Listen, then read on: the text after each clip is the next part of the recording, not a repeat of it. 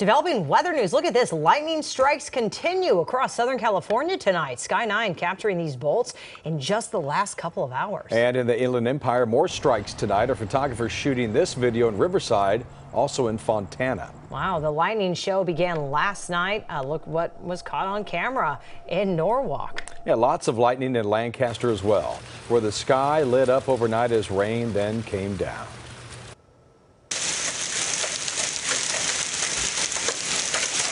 Yeah, from that electric storm to this, uh, what happened in Arcadia? I mean, you hear it. They got hit with a hailstorm on top of the rain, the thunder, and the lightning. Meteorologist Evelyn Taft warned us last night about what we were in for with that yep. wild weather, and you know what? You were right. And I got home and it was like right on right? cue. Exactly. I mean, it really materialized. It stayed on track. It did what it was supposed to do. And a lot of us got hit with quite a bit of rain. We saw lightning, we heard thunder, and we could see a little more of it. You'll see right here over the high desert and really over parts of the IE. We've been seeing some thunderstorm cells move through tonight. So we're not in the clear quite yet. As we get a look at the big picture, there's not a lot of moisture left to stream into Southern California. So we're really sort of on our last batch. We still could get some isolated showers and thunderstorms in the overnight hours. Satellite and radar tracker showing you just that. You'll see a little bit of cloud cover continuing to stay with us.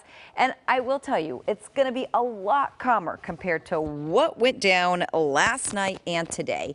But we're going to remain, well, in not fully in the clear, if you will, as we head into the next little bit. Take a look as we head into the 3 a.m. hour. We could see some activity over the water. And by 6 a.m., same thing goes, but does look to be mostly dry on land, even though, the, even though rather the chance will continue through most of tomorrow.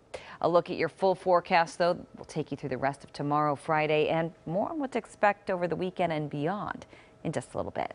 For now, Jasmine, Jeff, back to you. The storm